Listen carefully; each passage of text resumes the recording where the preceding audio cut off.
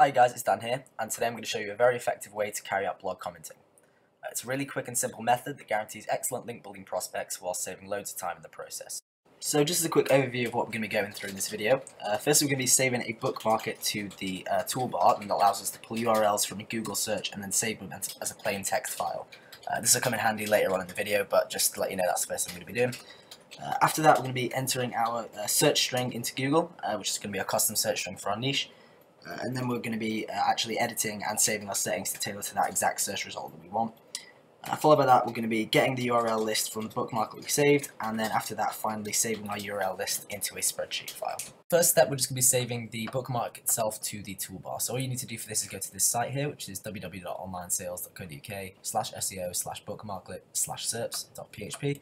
And once you're there, you've got this little green tab here all you need to do is just drag it over to your bookmark like this and it will just sit in the toolbar like that. So it's just there now and if I click through I'll show you what the site actually is. So basically what it is is um, if you search in Google for a search term you can then put them all in here and it just all appears in text forms. You can then obviously put it to uh, Excel documents etc to analyze the uh, URLs um, as you will. So just an easier way really of um, uploading uh, URLs into bulk when you're doing blog commenting So this next step for the video is going to be entering in our search string into Google for your niche. Uh, so for those of you who are unfamiliar, a search string is basically just a series of words you enter into Google to uh, basically get results tailored to whatever you want. So whether you want uh, a certain kind of comment with a certain kind of niche or a certain kind of website with a comment, etc., you just enter it into a search string and then it'll appear with those results on the Google search. So for my example on here, I'm going to do a quotation mark and then enter in football and then close it. And then my other one is going to be uh, CommentLuv. So what this will do will pull anything that mentions football as well as anything that mentions CommentLuv. So it should have a CommentLuv section at the bottom that we can comment on.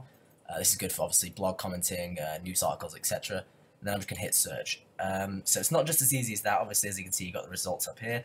But the ones, the things you want to do now to tailor your results perfectly is just to go into search tools here, go into any time, and then do past month. So this is really important when you're doing blog commenting, as a lot of blogs uh, tend to disable their comments after a month or two.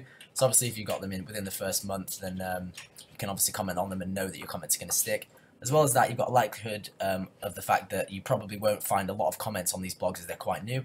Whereas if you left it at any time, you might find ones are two years old that have loads of obviously comments on them, and then your links get um, diluted um, throughout there when you put the links on. So that's really important to do is to go into search tools and do past month. So the other thing you need to do once you've done search tools and set it to past month is just to go to this little cog here on the top right.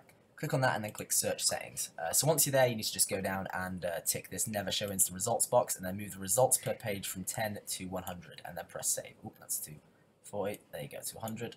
Don't know why it's not saying. There we go. 200 and then press save. So what that will do is basically, as you can see here, when the search result is in Google, as I scroll down, you get 100 results as opposed to 10. It just means that when you put it into your um, bookmark tool that we added in just a second ago, it actually adds all them in as opposed to 10. So it just saves you a bit more time uh, on that.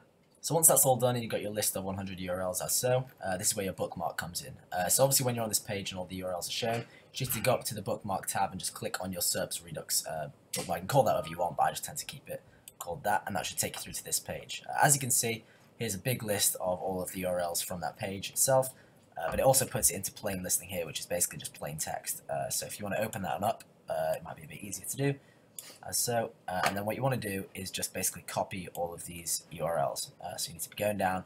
Be careful at the bottom because of that JavaScript one you don't want to be using because that's obviously not a URL. So just stop it there That's the bottom. Uh, press copy and then I'll take you through to the next step. So once all these URLs are copied, you actually have uh, two options really. Uh, one of your options is to put them through a big uh, bulk backlink checker. So obviously you'll be having a look at the page authority, domain authority, what backlinks are going to that site, whether it's authoritative, the trust flow, all that kind of stuff just checking really whether the site's worth commenting on and making sure it's authoritative and you're actually getting uh, it's worthwhile you commented on that site. So that's one of your options. And if you're not too fussy about that and you just did it to do bulk, uh, you know, blog commenting, that kind of thing, uh, your options are then to obviously paste all these URLs uh, into a spreadsheet where you can obviously organize them and going through them commenting. And obviously when you do comment on them, you can then go back into the spreadsheet to uh, just write a note to say we commented on this, we did it on this site, that site, etc. Kind of just organizing it to how uh, you want to. But other than that, really, that's kind of the process. Is obviously uh, going through, doing your search, obviously firstly downloading the um, the uh, bookmark, but then obviously doing your Google search, specifying how you want it to be done, setting it to past month, and obviously doing 100 searches, uh, putting all the URLs through here, and then after that, it's kind of up to you whether you want to uh, do a backlink check on them or just go straight into the blog commenting through a spreadsheet. So it's all up to you really from that uh, from there onwards, but uh, that's about it. So uh, thank you very much for watching, guys, and I'll see you in a bit.